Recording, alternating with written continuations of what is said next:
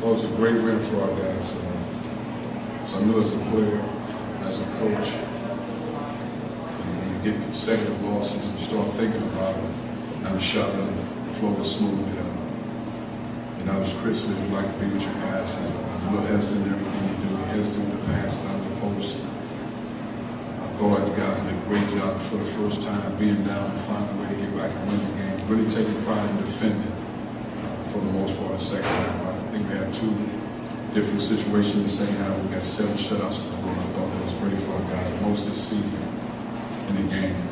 I thought that was two different segments in the second half. So that was great for our guys. I thought the crowd brought great energy. Really got into the game and fed our guys. It was, it was great for us to get over the hump. We needed that six man, so to speak. Uh, Renaldo gave us a great play off the bench. Made shots. He's capable of doing that. Then in the motion offense, he's one of those guys. He's really a perimeter guy and it's tough to guard with, with big guys that are not as mobile. So he can pick and pop and do different things. Uh, so he really helped us from that standpoint. Thought Jeronne really took pride in the second half, you know, kind of saying to himself more or less, we're going to win this game. I can't allow us to lose. And it's really going to get rebounds, snatch them out there, being physical, being aggressive. So I thought that was impressive on his part.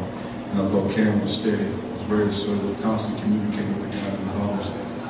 And even in the second half, we need those stops. I thought he did a good job with that. Vince did a great job scoring the ball, 20, I think 28 to 8, which is another impressive stat. Like I said, the guys got after it.